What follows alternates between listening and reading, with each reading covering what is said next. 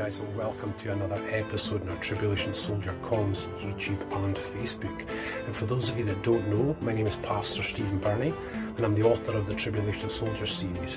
And today, we're just adding in some new videos to our Tribulation Soldier Coms YouTube um, to populate it with various videos. And one of the really important ones I've really wanted to do has been my own personal testimony of salvation in Jesus Christ. And I think that this it's quite a story, it's quite a difficult story. I'll try and be as brief as I can. I just really hope that you know there's people that can relate to the type of life that I was leading. As always guys, please don't forget to like, subscribe and hit notifications. Loads and loads of videos to come.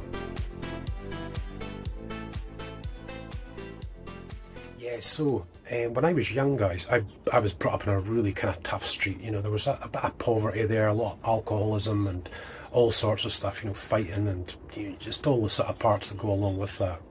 But I got to the stage when I was nine years old where I made a decision for Jesus, and um, you know, I'd really turned Him. Had this spectacular experience what we call as Christians being filled with the Spirit. It was really quite something. You know, I really encountered God at such a young age. But when I came to sort of my teenage years, that was it really. You know, I, was actually in a youth group at the time, uh, which was really up close to our main high street.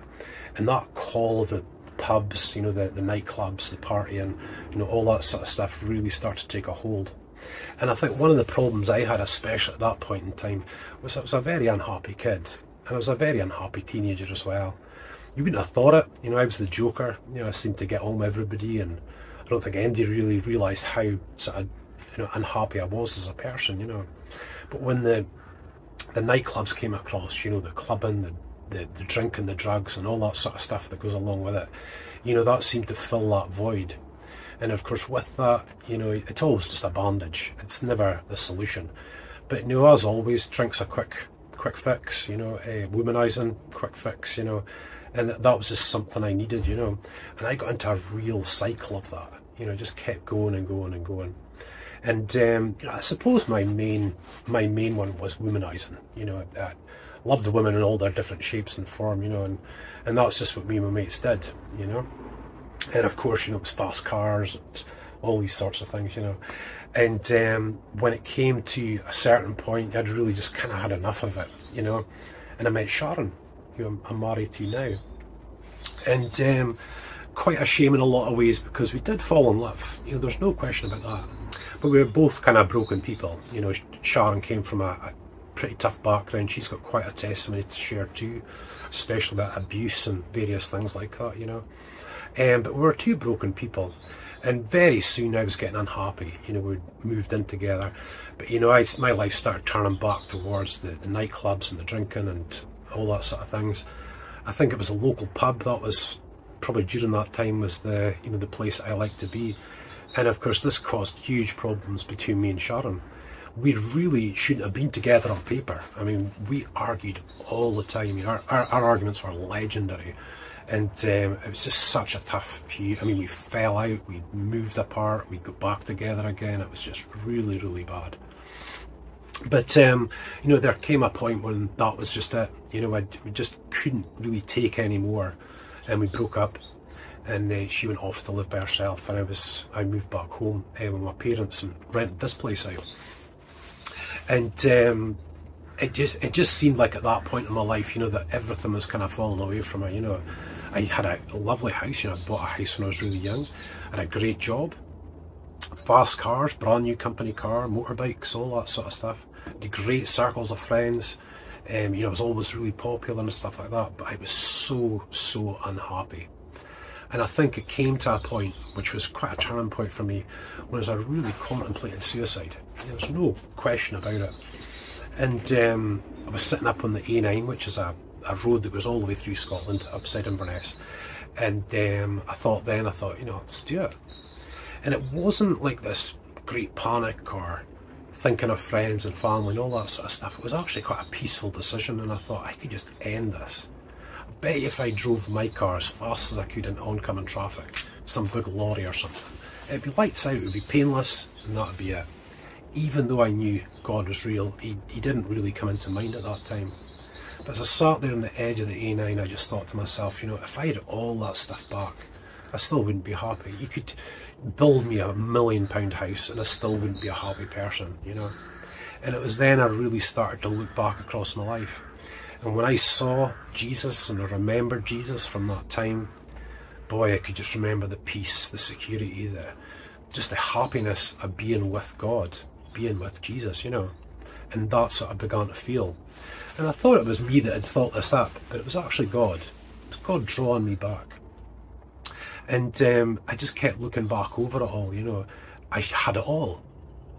Yet here I was, you know, my life was actually falling apart and oh, I was close to losing my job. I almost lost this house, you know. Obviously, I'd lost Sharon. It was really, really bad at the time. But then God came along again. And of course, you know, at the time, Sharon and I were living apart. But I didn't realise was that she was actually going to church. And she'd not only been going to church, but she'd been saved too. She'd given her life to the Lord and had a real experience, a real encounter with God. And um, it was then we really started drifting back together again. And of course, life was still a mess for us, really, you know, absolutely. But it was then I really rededicated myself to God. I wanted to be back with Him. It was just, it was all just right. It was all just good. All those years of partying and drinking and drugs and all that sort of stuff, you know, it was just, you know, it was just too much. It didn't give me what I needed, you know, but God could. So here we were. Me, I think I, I moved back here. Um, Sharon was still living in her apartment, her flat, and um, about six six to nine months after that, it was about nine months actually, uh, we got married. Got married again. But during that time before that, Sharon and I actually dated. Now, bearing in mind we lived together for four years. You know, as, basically as man and wife, doing all the things uh, men and women do. And uh, here we were dating, where I was actually going up to the flat, knocking on the door, and we'd be having a date. Or we'd sit and chat and see once all that other stuff was out the way, all the other rubbish, all the other bits and pieces, we really, really got to know each other. I mean, we really did. And it was then, possibly, I'm absolutely sure of it actually, that we actually fell, fell in love. You know, that was the time we actually fell in love together. I think we did love each other before, you know, you, you can't stay around someone for four years without being, you know, having those kind of feelings. But God had transformed things. A little bit later, that was us married. Now we were living together back in this house here. We were actually a family again. As time went on, our financial situation got better and better and better. We both got different jobs. We started actually being successful, actually being happy, and actually having a family. And that was our story. And in many respects, you know, I hope that many of you can relate to that sort of lifestyle. You know, that that's who we were. I was brought up with that, you know, the, the fighting, the drinking and all that sort of things. You know, when it came to pubs and clubs, you know, nobody partied like us. That's what I always kind of pushed across, you know. Had to take it to the extreme all the time with drinking and, you know, all that sort of stuff. Of drugs and bits and pieces like that as well, which I'll show you another time during the, the years with Sharon, of course, was a lot of uh, pubs. You know, loved the local pub. Uh, you know, we'd go in for a jar. You know, that's what I'd call a pint, and uh, play pool. You know, always had good mates and good friends there and stuff like that. You know, Sharon and I went to a, a lot of bike rallies. You know, motorbike rally weekends, Friday, Saturday night, and you camp out. There's a band and drinking and all that sort of stuff. You know, Sharon was actually a backpatch biker at the time, part of a, a real MC um, so she she was quite heavily involved in that, and I kind of fell in with it as well. You know, so there was good memories, and as I always say about when I share a testimony like this, it's never against any of the friends or family I had at the time. You know, still extremely valued people in my life, but that lifestyle that I was leading, you know, it just it just wasn't for me. It was never ever going to make me happy. So when I turned back to God, He had to fix quite a lot of things. You know, during those years I've been away from God, I'd done a lot. I'd probably hurt a lot of people. Um, and there's a lot of things that needed sorted out. You know, my mind straightened out, and that took a bit of time. And that happened through God challenging me to grow, to be different, you know, to move forward, be a real man. And obviously, he was working away with Sharon as well. She had her own stuff to, to deal with, you know. But guys, God had turned everything around. And my hope in this little testimony here is that you don't see um, you know, some of the bits that you know we did as being spectacular or anything like that. I hope you see God. God, I gave my life to God when I was nine. He'd, he'd always been a part of my life. I turned away from them, I dumped them and went off to do the exact opposite. But still, 16 years later, after all that, he was just the same God he'd always been. You know, I never saw a huge difference in him. I got to know him more, he was still the same God. And finally, finally, I was happy, you know. Of course, you know, guys, when you move into the Christian life, there's challenges. Of course, there is. God wants us to grow. He wants to turn our lives around. You know, He wants to make things right for us. And that means going through some stuff sometimes. So, you know, when you give your life to God, yes, there is absolutely amazing things that happen. Huge encounters with Him. You know, not just a belief system or faith. Real encounters with a real God. You can actually see Him doing what He says in your life which is just phenomenal. You never feel alone. Maybe once or twice during some dark times, that's that's no question. Um, but you never feel alone.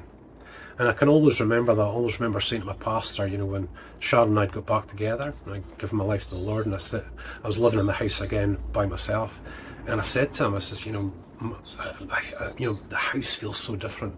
It's not you that feels. It's not the house that feels different. It's you, and it was. It was me that felt different.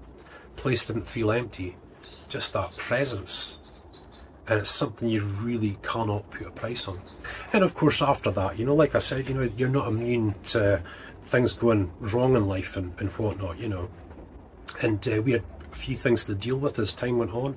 Of course, one of my biggest was four years of being ill with ulcerative colitis, and I, I got my large bowel removed you know, but then on, you know, I became a youth pastor when I was two, in 2009, right till 2012, which were some of the greatest ministry years. You know, here I was being a youth pastor, you know, after what I was. Then I was an assistant pastor after that, and then um, I fell ill again with, with a surgery mistake. I was on a breathing machine, uh, months to recover, still recovering from PTSD and various things like that, you know. So it doesn't really make you immune. Our circumstances with that, though, you know, the illnesses and some of the challenges, they're, they're fairly unique. If you're called to the ministry, you will experience more severe situations because God wants you to, to, to learn so much, you know. But all in all, I mean, it's just been absolutely tremendous, you know, from the, the life that I used to lead to what we are today. I think I would have been a drug addict and dead by now. I, I really do. I don't have any question about it in my mind. But here I am all those years later, 20 years later it is now. You know, our, our house, I've got my wife that I love, our marriage has never been better. Two wonderful kids here at home, 10 and 9. Um, Emily and David, of course. And I never thought I'd ever be doing anything like this, you know. You go from being a bit of a muppet or a, a dummy, you know what I mean, just waltzing through life not doing anything, to doing things you never ever thought you'd be capable of doing. So, guys, this has been my testimony. This is just my testimony, and it's just scraping the surface, just a little look at um, you know where I've come from, what I've came up through, my experiences with God, you know, just some of the things God's done, some of the things God said. But boy, oh boy, oh boy, I could go on for days about the things God's done and the things that God said, the actual results that I've seen in my life. And that is a life anyone can have. You know, I was just, I mean, if you a really crude term, a loser, just an, I wouldn't have wanted my daughter to marry a guy like me for anything. I wasn't anything to look at at all. But it just doesn't matter. You know, it doesn't matter what situation you're in. It doesn't matter how bad everything may seem. You could be in serious addiction, point of suicide, suicidal thoughts, all these things. God will come to you. I may well have been a generational Christian, parent, grandparents, great grandparents, going right back. That doesn't make any difference. I still walked away from God if he will do that for me, he will do it for you. And this is what these testimonies are always about, is to try and show you guys just some of the things I've done, why I don't deserve any of this sort of stuff, but also that the door is wide open for you. It is absolutely wide open. So yeah, Christian testimonies are extremely important. You know, many people can argue your beliefs or your knowledge, but actual experience, actual experience is actual experience. God is a God who is part of our daily lives and not just a belief system, but someone who is actually very present. You can see him in our lives, you can see him move through our lives. Sometimes you lose sight of that, but he's always there. And he always will be there for you. There's no question about it at all. You know, the Christian life isn't just a bed of roses all the time. Depends who you are, what you're called to do. Sometimes you can just lead a quiet and peaceable life with nothing really eventful happening. Other times you can have great challenges, really, really big ones. But in all these things, God's there. Now, guys, I just want to say before I close this testimony that at the moment, the time of filming this, the world is in a very, very strange place. You know, we went through COVID, we've got the Ukraine conflict, cost of living is sky high. It really, really is a very, very difficult time. And I just, I just want you to remember this testimony, remember about what God has said through me today, through my testimony, that He is there. This world is very, very uncertain. He is absolutely certain all the time every day, every week, every month, every year. He does not move in your life. It is tremendous and it doesn't matter what's happening out there. So yeah guys, listen, thank you so much for watching. Uh, it's been a little bit of a trial putting this together, you know, I really wanted to share this in as simple a way as I possibly could, you know, I don't want to Christianify it, you know, uh, too many of the, the Christian words and stuff like that, you know. But I just really hope you've seen God through this testimony, that you've seen the kind of things that He's done in my life, in Sharon's life, my family life, and in all the people around me as Christians. He's there, guys. He is absolutely there. God bless you guys. Again, please don't forget to like, subscribe, and hit notifications. Loads and loads of videos to come. Of course, we've got our Birnie Family YouTube channels where we do motorbike vlogs and Scottish tours and uh, caravan holidays, wild camping, fishing, all that sort of stuff. And we've also got three YouTube cha channels for kids. We've got our Birnie Family Fun, Birnie Family Fun Shorty Shorts, and Birnie Family Fun Gaming. So guys, I just hope that uh, you, know, you really enjoy those social media channels that we have, which surround our Tribulation Soldier ebook series.